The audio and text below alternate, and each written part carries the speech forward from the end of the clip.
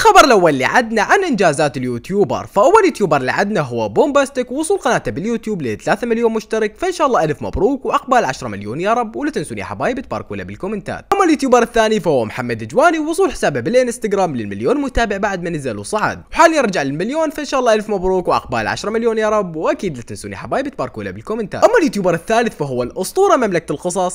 okay آسف. وصل قناته باليوتيوب لل 300 ألف مشترك. وطبعا بهذه المناسبة جدا جميلة حبيت اني اعلم من خلالها إنه يا حبايب بعد شهر أو شهرين بالكثير راح تنزل لكم مفاجأة جدا خرافية وراح يكون بها صورتي. أو هو يكون فيديو بي. ولا تنسون يا حبايب تباركون نفسكم بالكومنتات على الرقم. الخبر الثاني اللي عدنا عن المشكلة. أحمد أبو الرب ويا برهوم المعراوي. بالنسبة للأشخاص اللي ما يعرفون شنو اللي صاير فبالبدايه كانت لما برهوم نزل هذا المقطع على قناته واللي يرد بيه على الأشخاص وأحمد أبو الرب وأخوه يتهجم عليهم ويتهمهم إن هم اللي يقلدون محتواه. وطبعا أول ما نزل هذا المقطع أحمد أبو الرب شال ال follow من حساب برهوم بالإنستغرام. طبعا برهوم سوى نفس الشيء. أما بعدها شنو اللي صار فأحمد أبو الرب نزل على حسابه بالانستغرام شوية ستوريات ولكن حذفها ورا تقريبا 20 دقيقة. وهذه الستوريات يرد بها على برهوم ويقول إنه هو ما عنده أصدقاء بال social media وكل اصدقائه مصلحة ويريدون يجيبون مشاهدات على اسمه. وشوية من هذا الكلام راح اعطيكم هذه الستوريات شوفوها okay الساعة تنتهي بالليل هذا هو الوقت للحكي العميق.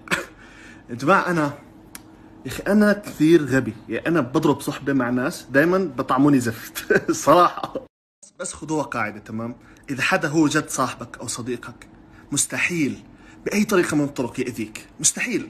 لأنه هاي قاعدة رقم واحد يعني أنت إحنا أصحاب المفروض ما تأذيني. لا يأذيك نفسيا ولا معنويا ولا شيء. المفروض ما يأذيك. okay صحيح أنا بتمسخر على الناس وبهبد وبعمل وبسوي. وبتوقع كمان إنهم كثير ناس ينتقدوني ويتمسخروا علي ويكرهوني. في لي كثير كارهين وبيعملوا فيديوهات وبيهاجموا علي وب... عادي. هاي شغلات هاي أنا بستمتع بهاي الشغلات. هاي الحرب معلم. بس إني أشوف حدا من الناس اللي بعتبرهم أصحابي الناس اللي أنا بحاول أفيدهم بتمنى لهم الخير أشوفه بيحاول يهجم علي ويوسخ سمعتي وبكذب يعني يكذب يحط إشاعات.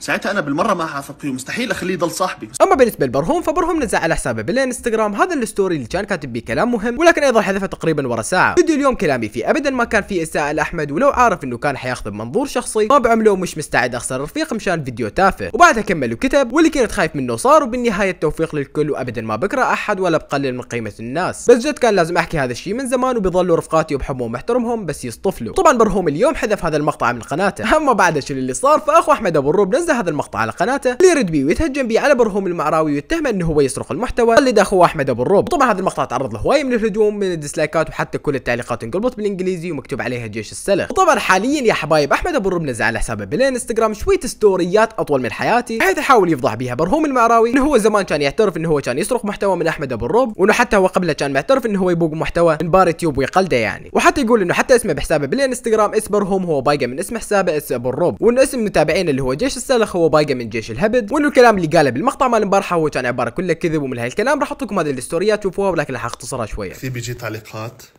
انه إنه بقلدني فاعمل فيديو يدافع عن حاله is حقه يعني. بس فاللي صار مع برهوم إنه زلمة كان يعمل محتوى تحديات ومقالب تمام؟ هذا الحكي بيجوز قبل سنتين. وأنا بلشت محتوى. الهبد. أنا الهبد بعمله من هيك يعني من, من قبل سنتين. السلخ بعد ما شاف الهبد. يعني ما ما راح يعني الموضوع أنا بلشت okay؟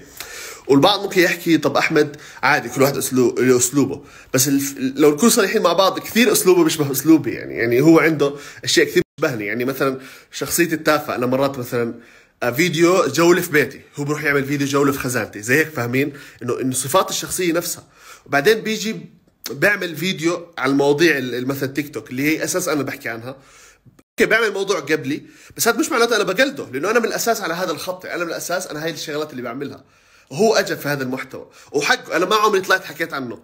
يعني ما عمري سويت فيديو حكيت يا جماعة هذا بقلد. يا جماعة أنا كل اللي بدي إياه. إنه بس ما ينكر إنه هذا الإشي عمل له inspiration يعني على الأقل جاب تشجيع من الهبد. على الأقل شاف الهبد وخطرت على باله فكرة. بس إنه يطلع يعمل فيديو يحكي إنه ما بيحضر فيديوهاتي أصلا وينكر ويحكي إنه أنا أصلا بقلده يعني يطلعني أنا بقلده يعني وقاحة. يعني صراحة يعني ما بصير. كثير تضايقت يا زلمة.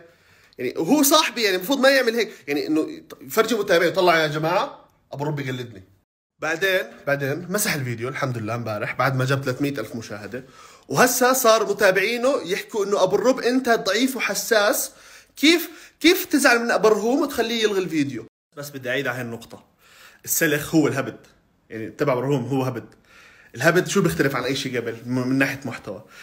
قبل ما أعمل هبد كان محتوى الانتقاد كان ينزلوا فيديو كل أسبوعين فيديو كل أسبوع يكون فيديو طويل.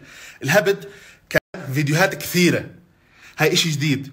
آه، الهبد فيه بتمسخر على حالي وعلى الناس. هذا إشي جديد. الهبد إشي ما ب... ما بجرح. الهبد بيكون آه، الشخص اللي بنتقده بيكون مبسوط اني بنتقده. بالضبط زي سلخ. okay. قبل قبل ما برهوم يعمل فيديوهات السلخ تبعته. كان يعمل فيديوهات زي بار تيوب. copy paste عن بار تيوب. نفس الشيء بس باللهجة السورية. وكان عنده فيديو بيعترف إنه بيقلد بار تيوب. عنده فيديو على اليوتيوب بيعترف. تمام؟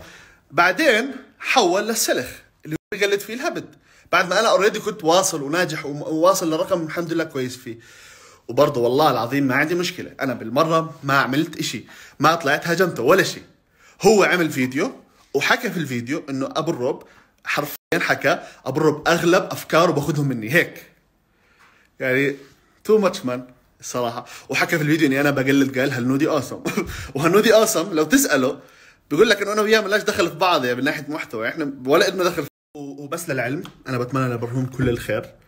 ولما حسابه انلغى في الزمانات أنا كنت أول واحد ينشر له. ومع إنه حسابه its برهوم نفس اسم user its أبو الرب by the بس لو تلاحظوا هيني حمنشنه آه بس شوفوا. البني آدم كنت أحسه بقلدني فترة. ولأنه صاحبي رحت بعثت له على الخاص قلت له مشكلتي معه قلت له أنا بحسك بقلدني ووقتها احترم احترم رأيي وحاول يحسن حاله. وباعتراف وبعت لي مسجات قال لي خلاص ابرم ما عليك وأنا أنا يعني ما انكر ما أنكر إنه كان يقلدني هذيك الفترة. بعدين اليوم بيعمل فيديو بيحكي إني أنا بقلده. ولا جاب سيرة إنه هو يوم من الأيام كان على الأقل بس inspired by الهبد بس يعني إشي كثير غريب. فشكلها يا حبايب أول دراما راح تكون بداية 2021 فاكتبوا لنا يا حبايب بالكومنتات قديش متحمسين الها وأنتوا ويا منو وشو رأيكم بالخبر. الخبر الثالث اللي عدنا عن بيسان إسماعيل وهل هي انخطبت أو لا؟ بيسان نزلت على حسابها بالإنستغرام هذا ال story اللي كانت بيه عند الكوافير ونوعا ما كان بيه شيء غريب. فاللي لاحظ إنه بنهاية ال story بيسان صارت تأشر على أصبعها اللي هو بالخاتم فهو من المتابعين يتوقعوا إنه هي مخطوبة أو إنه جاي تحمسنا المقطع راح يكون مثلا مقلب أنس شايب مثل قبل. فما أدري الصراحة اكتبوا لنا يا حبايب بالكومنتات شو رأيكم هل هي تحمسنا المقطع أو هي ممكن تكون مخطوبة من صدق وبس يا حبايب لهنا وصلنا لنهاية المقطع. أدري مقطع اليوم شوية طويل ومقطع امبارح شوية طويل ولكن إن شاء الله هذا الشيء ما راح يتكرر. المقاطع نفسها مالتنا تظل ثلاث دقائق أربع دقائق مو أكثر. ولكن لأنه خبر مهم اليوم مال أبو الرب وبرهوم اضطريت اني شوية اطول لكم المقطع. وبس والله كان لكم فايزه مقدمه القصص. مع السلامة.